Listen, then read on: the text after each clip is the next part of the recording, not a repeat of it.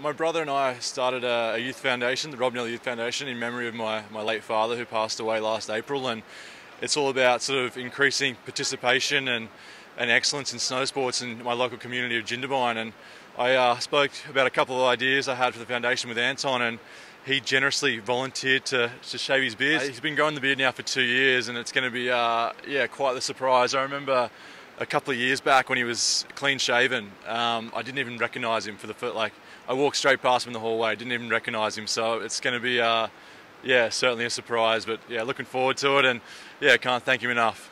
You nervous, mate? Oh, quietly nervous. I think so. Sorry if I'm not my usual self. It's a big day.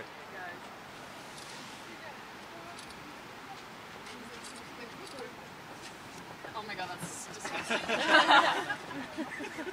Have you got a career as a barber afterwards, maybe? I'm doing a pretty average job.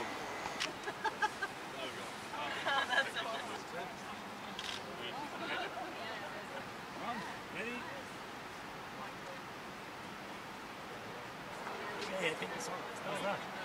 Hold on. Too much to do it with cold water. Thanks, mate.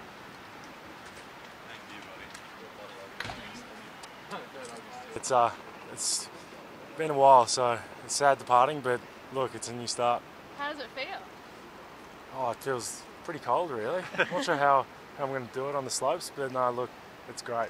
Thanks to Anton, we're well on our way. We raised over 13 grand, so it's a great start and looking forward to some uh, a, a promising future for the fund.